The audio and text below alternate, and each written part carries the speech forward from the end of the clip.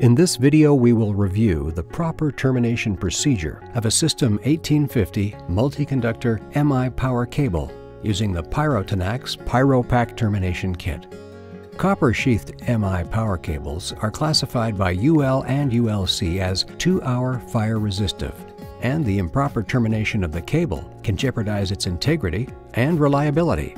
Before we begin, let's double check that your PyroPack kit contains all the necessary items you will need in order to terminate the cable correctly.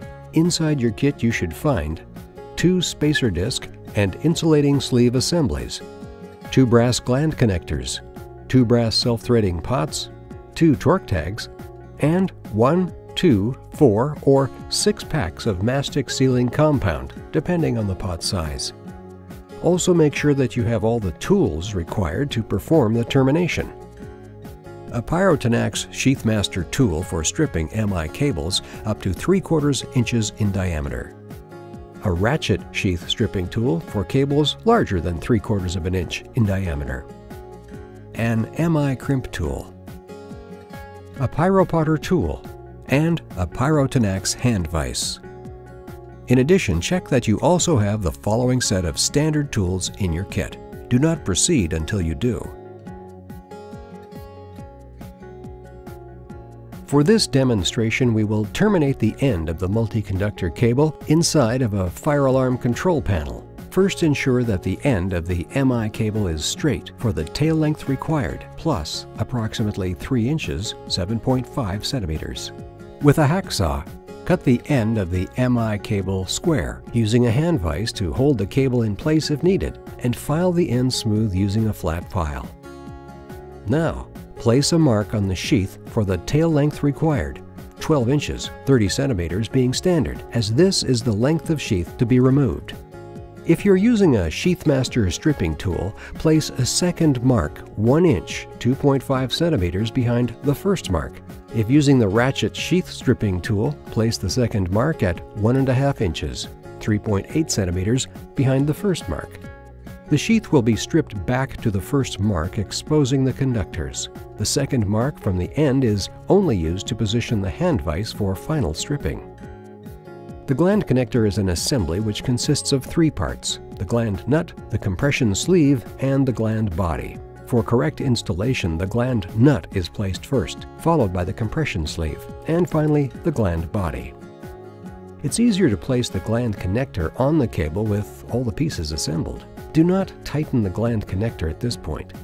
Next, strip the copper sheath off the MI cable. Gripping the cable with the hand vise and using the stripping tool, begin stripping the copper sheath back towards the first mark. Note that the Sheathmaster stripping tool must be adjusted depending on the diameter size of the cable being used.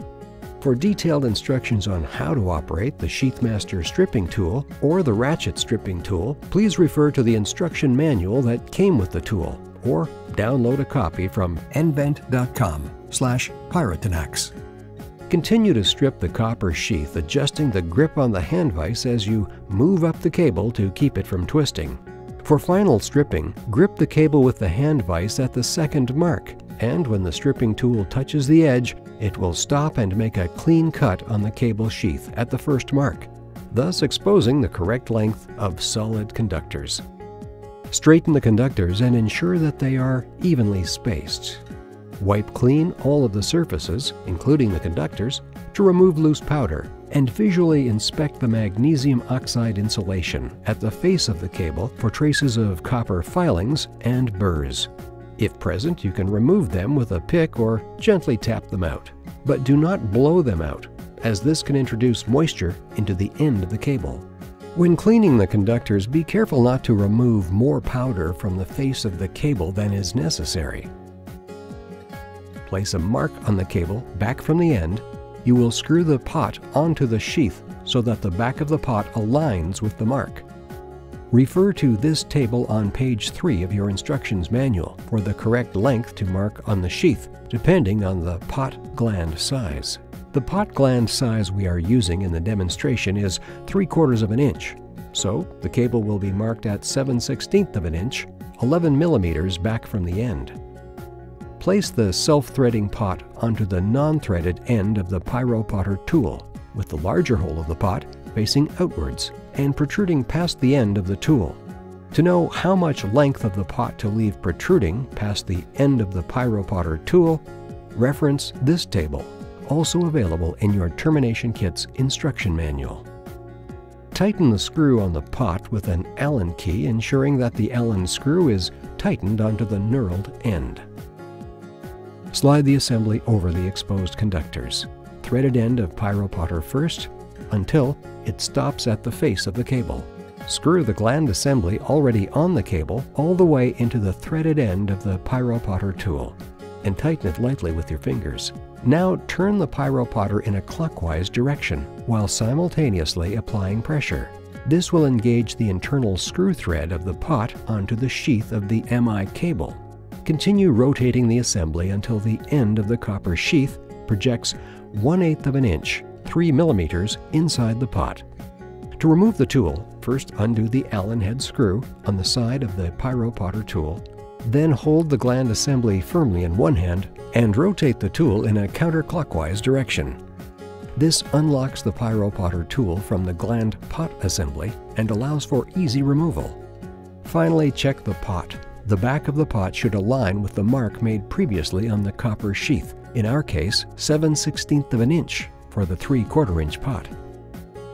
If one end of the cable has already been terminated, you must test the end-to-end -end continuity of the conductors with a continuity tester or multimeter to ensure that each conductor will be terminated with the same color sleeves at both ends. Watch our supporting video, Continuity Test for Detailed Procedure. Next, you must perform an insulation resistance test using a megohmmeter set to 500 volts DC to check the insulation resistance of the cable between the conductors and the sheath, and from conductor to conductor to ensure that they are free of grounds and shorts. The other cable end must be terminated and sealed, or a low IR reading will result. If unsure on how to perform a correct insulation resistance test using a megohmmeter, please pause this video and watch our supporting video, Performing an IR Test, for detailed test procedures and IR test criteria. Note that low IR results indicate that moisture is present in the end of the cable and must be removed before continuing the termination. When IR readings are satisfactory, immediately terminate the end of the MI cable, or a delay can cause the IR to drop, and the cable must be retested prior to terminating the end. Now ensure that all conductors are straight and slide the spacer disc and insulating sleeve subassembly over the conductors, anchoring bead end first. To fill the pot with mastic sealing compound, withdraw the spacer disc and sleeving subassembly slightly to allow sealing compound to be packed into the pot. Also ensure that the conductors are spaced an equal distance apart from each other and inside the pot. The pot should still be warm if you had to follow a drying out procedure during your insulation resistance tests. If not, heat the cable and then the pot with the propane or MAP gas torch until just warm to the touch before filling with mastic sealing compound. To keep the compound from being contaminated with foreign matter, press it into the pot with your finger behind the wrapper. Slightly overfill the pot with sealing compound, pressing from one side only to prevent air pockets from forming. When the compound starts to come out the opposite side of the pot, push the spacer disc back into the open end of the pot. And Gently pull on the PVC sleeves to ensure the anchoring beads are snug against the inside face of the spacer disc. Do not push on the sleeves as it may force them back through the cap and butt against the end of the cable, thus preventing the compound from making an effective seal. Next, crimp the cap into the pot using the MI crimp tool. Place the pot into the body of the MI crimp tool, making sure that the PVC sleeves, conductors, are inserted through the center. The end of the pot with the spacer disc must fit inside the three cone-shaped points on the crimping plate of the MI crimp tool. Apply even pressure on the spacer disc by tightening the tool until the spacer disc is snugly seated inside the opening of the pot and the cone-shaped points have crimped the side of the pot. This will retain the spacer disc in position, and the termination is now complete. It is normal for mastic sealing compound to squeeze out the side of the pot. Just clean it carefully. To end the termination, test the insulation resistance of the cable once again with the megohmmeter set to 500 volts DC to ensure that the cable has been terminated correctly. Again, if unsure on how to perform an IR test, watch our supporting video, Performing an IR Test. Finally, to secure the terminated cable end to the enclosure, simply install a user-supplied lock nut onto the gland assembly and slide it into the enclosure.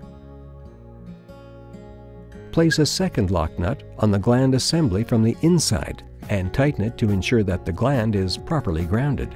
Once the gland has been installed in the cabinet or panel, tighten the gland nut to the gland body using two wrenches and ensure that the assembly is fully secured. This now completes the proper termination of a System 1850 multi-conductor MI power cable using the Pyrotenax PyroPack termination kit.